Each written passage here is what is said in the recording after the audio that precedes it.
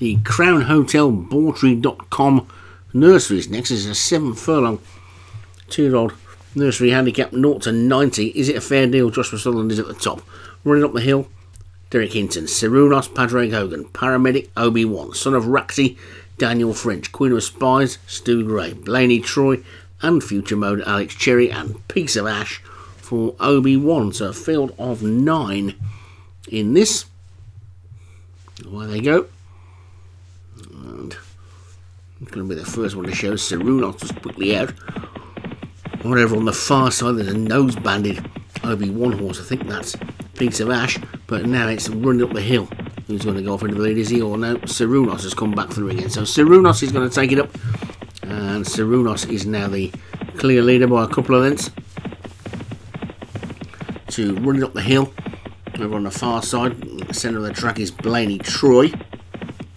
Then comes Queen of Spies, and is it a fair deal? With Piece of Ash on that one's inside. Past the four pole, then Cernunnos is two lengths clear.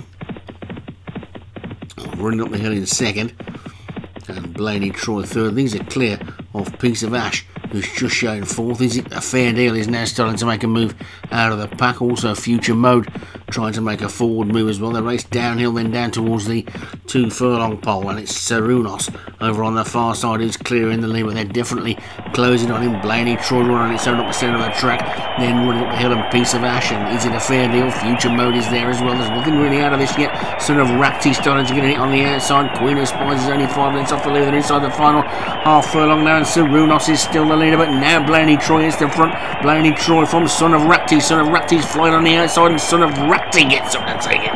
Son of Rapti wins it. Blaney Troy. Queen of Spies finished like an absolute rocket and may have got up to be third.